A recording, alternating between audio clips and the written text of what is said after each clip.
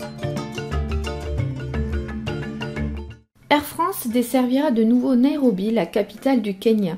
La ligne Paris-Nairobi, qui fut pendant longtemps très importante, est réouverte et sera desservie par la compagnie aérienne française en partage avec Kenya Airways.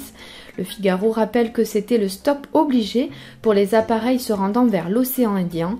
En Nairobi, on faisait le plein de carburant, mais cette ligne qui fut ouverte en 1946 avait perdu peu à peu de sa superbe à partir des années 90 quand les appareils plus modernes purent aller de Paris à La Réunion, à Madagascar ou à l'île Maurice sans escale technique.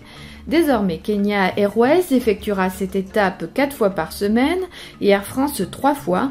Le groupe Air France dessert surtout l'Afrique de l'Ouest, mais pourra désormais, comme l'indique le Figaro, desservir 26 nouvelles destinations en Afrique de l'Est via Nairobi, comme Zanzibar, Mombasa, Bujumbura ou Khartoum. La ligne sera ouverte cet été.